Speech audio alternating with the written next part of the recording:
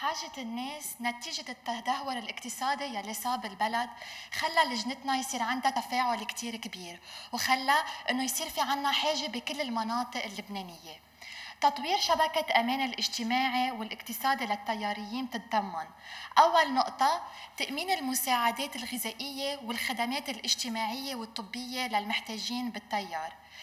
هيدي العملية رح تصير من خلال التعاون مع كل الأقضية. رح يتم تعيين شخص بكل قضاء يكون هدفه هو يعمل مثل data كرمال يأمن لنا إياها. ومن خلال هيدي ال data نحن رح نكون عم نوزع المساعدات الغذائية لكل المحتاجين. ورح نطلع كمان على الحاجات الإنسانية الطبية والاجتماعية بكل منطقة. لجنة كورونا كان لها دور كتير كبير بهيدا الموضوع. وكمان رح نشتغل تنكمل على هدفنا ورح نأمن الأدوية والحاجات الصحية لكل المحتاجين عن طريق اللجنة يلي عملت فرق كتير كبير بالمراجعات الطبية تأمين الأكسجين وتأمين الأدوية. كيف رح تصير عملية التمويل؟ عملية التمويل رح تصير من خلال نشاطات بالأقضية أكيد حسب ظروف كورونا. رح يكون في كمان fundraising من خلال متبرعين يدعمونا بهيدا الموضوع وأكيد بالتعاون مع الجمعيات. هيدا العمل رح يكون بالتعاون أكيد مع اللجان المختصة من قطاع الشباب بالتيار ولجنة الأقضية ونحاول نخلق توازن بكل الأقضية. ثاني نقطة إنشاء دليل التيار المهني ومنصة للتوظيف بهدف توفير فرص عمل للتياريين. من هالخطة نحن رح نساعد بإعطاء الصنارة مش بس بإعطاء السمكة.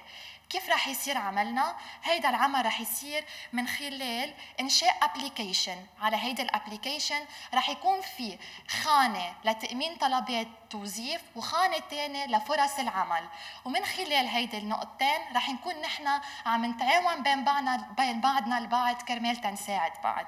ثاني نقطة رح نخلق نحن كمان غير هيدي المنصة فرص عمل لتشغيل اليد العاملة وكمان نساعدهم لبيع منتوجاتها وثالث نقطة رح يكون عنا لفتة خاصة أكيد لذوي الاحتياجات الخاصة ثالث خطة هي الدعم التربوي للطلاب من خلال أساتذة التيار وإرشاد للأهل حول مواضيع مختلفة. أول موضوع رح نكون عم نخلق unit من خلال هيدا ال unit رح يكون في آه تعاون للدعم بين الدعم التربوي والأهل. كرمال نحن نعطي شوية إرشادات من خلال الاختصاصات اللي صار عنا فائض فيها والاختصاصات اللي عنا فيها نقص وهيك بنكون نحن عم نلبي كل المتطلبات العباد.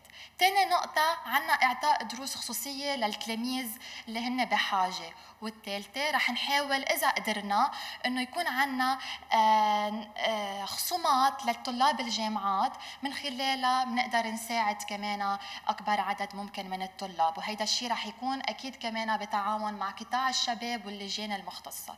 رابع خطة رح نقوم فيها هي خطة التأمين الصحي للحوادث والصحي والحوادث. تأمين التغطية الصحية للعالم اللي ما عندهم ضمان ولا أسيورانس وهيدا الشيء رح يكون من خلال صندوق التعاضد. نحن معكم بتعاوننا سوا أقوى. وسوا رح نكمل تنتخطى سوا كمان هيدي المرحلة الصعبة يلي عم بتواجهنا.